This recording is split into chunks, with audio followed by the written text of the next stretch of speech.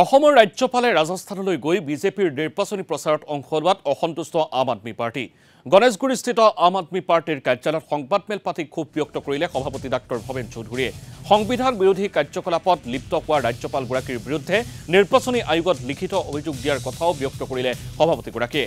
লগতে পদত্যাগৰ দাবীৰে ৰাষ্ট্ৰপতিলৈ পত্ৰ লিখিব আম আদমী পাৰ্টীয়ে।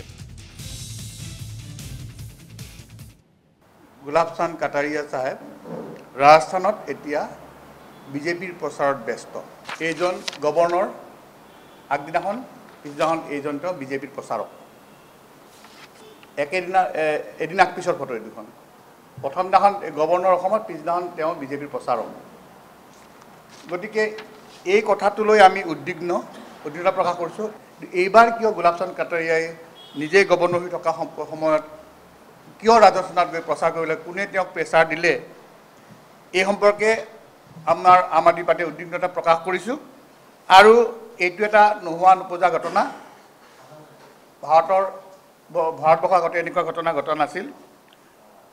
আৰু সংবিধানৰ যি দায়বদ্ধতা আছে গৱৰ্ণৰ সেই দায়বদ্ধতাত কেৱল যেন শিথিল হৈছে এনেও বিজেপিয়ে সংবিধানক বৰ বেছি মানিব নোখোজে।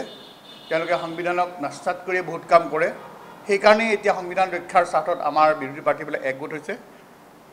আজিৰ বিষয়টোত আমি বিচাৰিম আম আদমী পাৰ্টীয়ে বিচাৰিম গোলাপ চান্দ কাটাৰিয়াই কি কাৰণত বিজেপিৰ হৈ প্ৰচাৰলৈ গ'ল সেই বিষয়ে তেওঁৰ ছেক্ৰেটাৰীয়ে আমাক জনাওক। অথবা